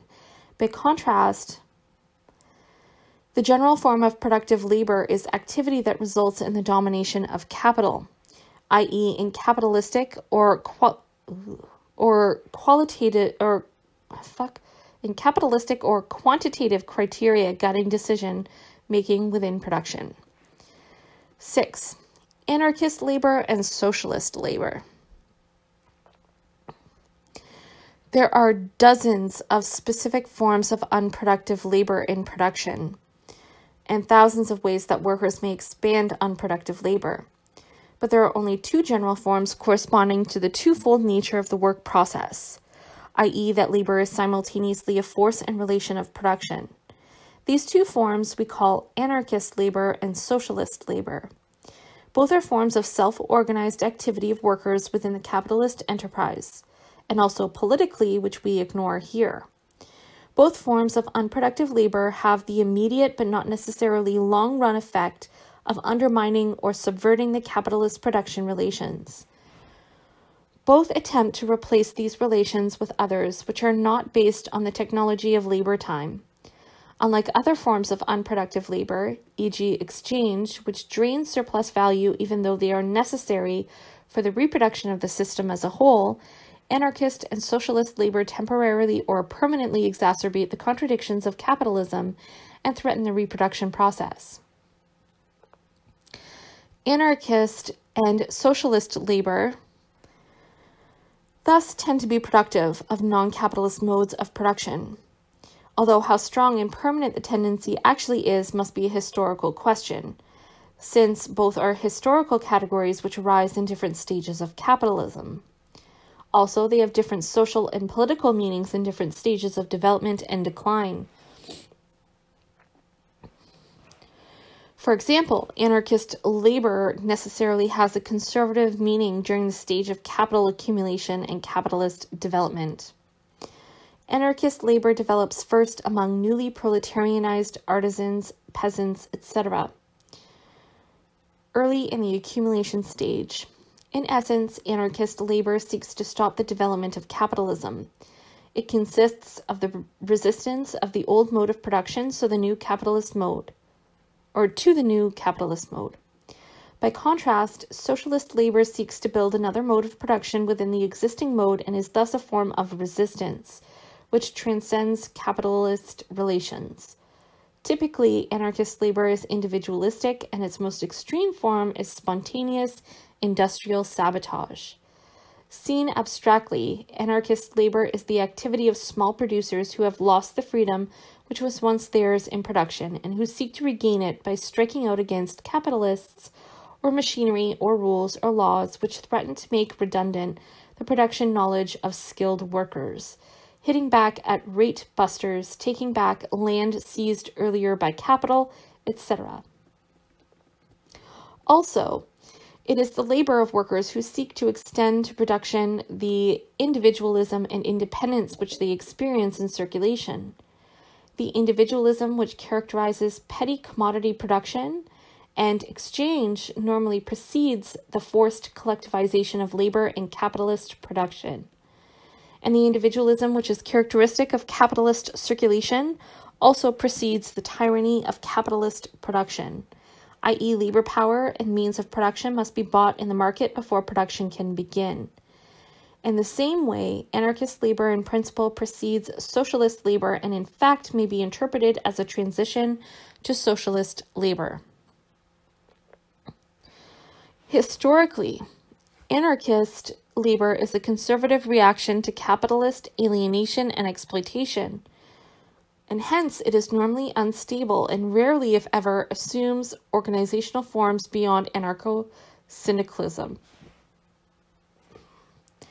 Objectively, the immediate and typically short lived result of anarchist labor is the undermining not only of the capitalist production relations, but also the productive forces, i.e., the product of wage labor, which threatens the existence of independent commodity production or the product of unskilled labor which threatens the existence of skilled labor?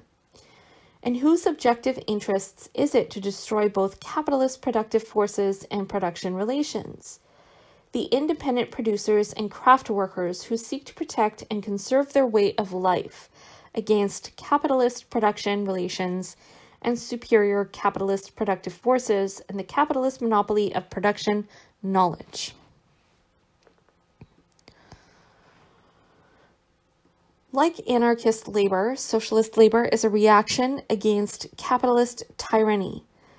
Unlike anarchist labor, socialist labor does not seek to protect or conserve either independent production or the production knowledge of the individual craft worker. Socialist labor negates wage labor and requires new social relationships which transcend mere guard labor or labor which seeks to protect or roll back the status quo. If anarchist labor seeks to change the relations of production in favor of the craft worker or small producer, Socialist labor seeks to change the production relations of all workers independent of the commodity, capitalist form of these relations. Socialist labor is hence a practical critique not only of capitalist production but also of anarchist labor. Socialist labor subverts or overthrows capitalist production relations without, at the same time, destroying the productive forces. Rather, socialist labor seeks to reconstruct the labor process by establishing freely cooperative productive or production relations within the working class as a whole, within which the productive forces developed under capitalism can be used for different ends. The second step is the development of socialist productive forces themselves. Within the capitalist unit and between capital units, i.e., economic and political levels, respectively, socialist labor breaks down the relationships between boss and worker, and worker and worker, established by the boss with the purpose of taking over the means of production and giving them new meaning rather than destroying them. Socialist labor seeks to use the means and objects of production to produce use values directly for need, not exchange values, i.e., socialist labor seeks to control, mold, and shape things, not people. Unlike anarchist labor, it requires a consciousness of what you are doing as such. The Fiat workers who for a time seized control of the means of production and eliminated the production of high priced cars for which there was an active market and expanded the output of low cost models for which no market existed, engaged in socialist labor. In sum, socialist labor embodies collective and creative rational attributes of the producers and reflects social or collective needs. If wage labor is the need to produce exchange values for individual consumption, socialist labor is the choice of producing use values for social consumption. Unproductive labor and production in either its anarchist or socialist or combined form is the theoretical category which corresponds to the living critique of capitalist production by workers qua workers, i.e., the class struggle in production. The struggle of the producers in the workplace and political sphere over the character of the production relations and the meaning and exact uses of the productive forces is the heart of the proletarian revolution. Whether this struggle occurs within a particular workplace or in the political sphere between the working class and capitalist class, workers must contend with the capitalists as owners of the means, objects, and results of production and the controllers of the labor process. No pretense is possible that this conflict is merely another battle between two classes of property owners. The reason is that in production itself, the working class is formally propertyless Workers' struggle in circulation contrasts sharply with the struggle in production. In circulation, workers attempt to get a higher price and better terms, generally for the labor power they sell or rent in the market. They contend with capitalists as labor power owners, not as producers. Wage struggles thus do not and cannot abolish or undermine alienation and exploitation directly, but only affect the terms of alienation and exploitation and hence alienation and exploitation as such only indirectly, if at all.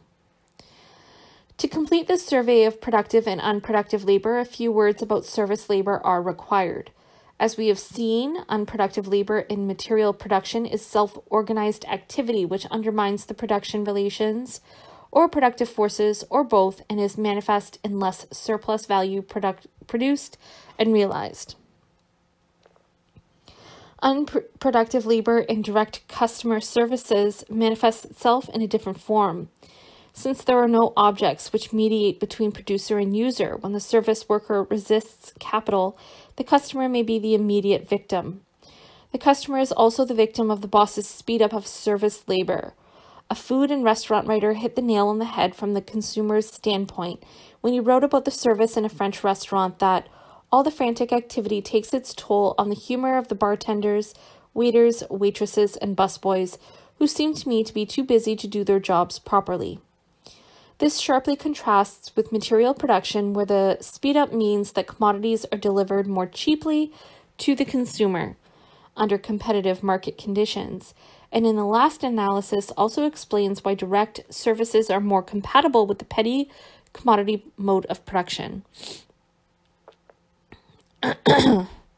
Perhaps the most common example of unproductive labor in direct services, whether or not the result of speed up, is the rude clerk who believes or acts as if he believes that it is the customer's needs that are oppressive, not the boss's orders. The class struggle in, the, in this case pits workers against customers, who typically are also workers. On the other hand, service labor, like material labor, has a double meaning i.e., it is a productive force and production relation. As a production relation, the service is rendered in a certain role for its exchange value, not for its use value. If the exchange value of the service did not exceed the exchange value of the worker's capacity to render the service, i.e., if the worker refuses the role, no, no production would occur. This means that there is another form of rebellion open to the service worker, namely to render the service strictly for its use value, i.e., out of the role of make believe. An example is the auto mechanic who takes his time and does a careful job despite the fact that the boss expects quick and hence sloppy work. This example gives us a glimpse of anarchist and socialist labor and service production. Anarchist labor subverts the production relations and also destroys the productive forces without replacing them with more advanced forces. In the services, this means that the rude clerk disobeys the boss keep a smile on your face, drives away the customer, and subverts his own abilities to give service. Socialist labor undermines the production relations without destroying the productive forces, but rather redefines and expands them. The mechanic who takes his time to do a good job at the expense of the boss's profits exemplifies socialist labor. In direct services, there is an additional complication to the concepts of productive and unproductive labor. The boss seeks to expand productive labor by ordering the mechanic to go fast, or the boss may change the division of labor in the garage so that the customer has no opportunity to discuss his car engine with the person who actually is supposed to fix it. But the customer wants the mechanic to go slow or reject the new division of labor in order that technical questions may be answered by the mechanic himself. The mechanic is thus caught in the middle. The speed up has one meaning for the boss, another for the customer, and still another for the mechanic. The worker, in this case, has four general options. He can speed up work and give the customer short shrift, which combines productive labor with unproductive anarchist labor. He can speed up his repair work and take more time with the customer. This results in a trade off and leaves the amount of productive labor more or less unchanged, even though even though the mechanic must work harder. He can slow down the repair work and ignore the customer's concerns and rebuff his questions. This reply is purely anarchic, a small act of rebellion against the world. Or the mechanic can slow down the work and also spend more time with the customer than the boss believes to be profitable. This is socialist labor, as well as it can be developed within this particular framework of capitalist production relations. In any case, the illusion that the consumer is sovereign is destroyed. Unless the service worker rebels, consumers get what the boss wants them to get. If we define the productive forces as the worker's knowledge of production and distribution, and energy and imagination, as well as the means and objects of production, then we can say that socialist labor is the abolition of the capitalist production relations by the productive forces.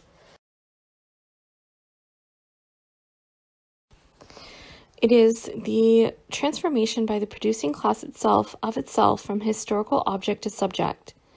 In this general light, the difference between productive labor and socialist labor is the, is the difference between a working class which necessarily permits itself to be used like a machine and a class which is able to take its destiny into its own hands. As we know, Marx's theory of productive labor is required to understand the production and accumulation of capital. He used impersonal language because he needed to show that wage workers do not count as real people in the process of capital accumulation, i.e., that objective social laws operate independent of any individual's intention or will. The theory of unproductive labor is needed to understand the destruction of capital, when the producing class ceases to be merely the raw material of history and begins to consciously shape its own history, then the impersonal language of Marx must be abandoned. When Marx wrote that capital does this or that, he meant that the social relations within the capitalist class, i.e., competition, and between capitalists and workers, i.e., struggle, work out in certain knowable ways, whether or not anyone is aware of them. But when the working class consciously begins to direct its own activity for its own purposes, we can no longer say capital does this or, or that. Rather, we must make room in the theory of capitalism for the self conscious and self organized activity of the working class and say that workers do this or that. Different ways must be found to express this whole line of reasoning. If we try to grasp the meaning of the productive forces by themselves, the first thing we must understand is that they do not exist as an independent entity. They always exist in the form of a certain production relationship. Hence, if we seek the theoretical meaning of the productive forces, independent of the relations within which they develop, these relations must be abstracted from. The main point here is that the living purpose of socialist labor and socialist revolution is to separate in fact what at present and in the main can be separated only in theory, to abstract the productive forces from the oppressive production relations is in reality the self liberating mission of the working class. No one can deny that the production relations are far are part of the productive forces in the sense that they consist of cooperation, division of labor among the workers, specialization of functions, etc., as well as the hierarchy of capitalist control in the enterprise but it has to be stressed that the division of labor and specialization of work function is merely the form in which the capitalist production relations appear, i.e., capitalist production relations include the relations between workers established by the capitalists. But these relations between workers, i.e., the organization of work, are also a productive force. Hence, the relations between workers have a double and contradictory character. The living form of the contradiction between the productive forces and and production relations is the contradiction between the organization of workers established by capital and the self organization of workers established in their own interests. Turning the point around, the self organization of labor in the socialist form, socialist labor, is clearly a productive force as well as a product, production relation. Socialist labor abolishes capitalist production relations and at the same time creates social production relations which liberate the productive forces by liberating the working class. Socialist labor abolishes the living contradiction between the forces and relations of production in capitalist economy by substituting self organization for capitalist tyranny. At the same time, it frees the productive forces that capitalist production relations suppress or distort namely the independent and creative activity of the workers themselves. Although capital means that workers are treated like machines, the growth of the productive forces, which includes the growth of self organization of the workers, makes it possible for the constant and unrelenting struggle of reorganizing the production relations in the direction of socialist labor. Marx's message is that workers not in struggle are not fully human. Their passivity means that they are permitting themselves to be used as machines. Struggle is thus essential for the self liberation of the working class in the double sense of freeing the productive forces and the production relations. The big theoretical question thus turns on the objective historical conditions under which class struggle negates itself versus those conditions